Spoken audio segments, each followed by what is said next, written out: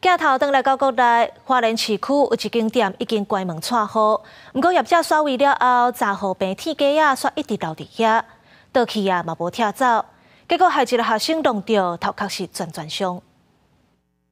感谢去外面会当看到一名高中生伫和平路民国路口落车了后，就发现随弄到人行道倒去的两号病影当场流血，送去病院急诊。初步观察，目睭皮片啊下头真侪所在受伤，天几啊针。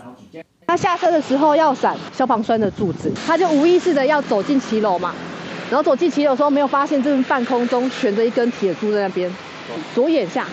只差一点五公分就到眼珠了。户籍居民表示，这原本是一间臭豆腐店，搬走了后，后背街也无听都有登记空着。最近倒伫旅行多，涂骹也有占用电话卡违法设置的提机啊，好行人出入，真危险。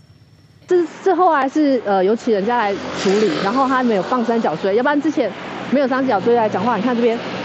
地上有两两只铁片，这铁片踢到或是不小心撞到都有危险。官府表示，依照建筑法第七十七条规定，建筑物所有权人使用前应该维护建筑物合法使用甲构造参设备安全。那违反会当对处所有权人违法。依照建筑法第九十一条的规定，哈，如果说违反这个七十七条的部分的话，呃，我们是可以罚。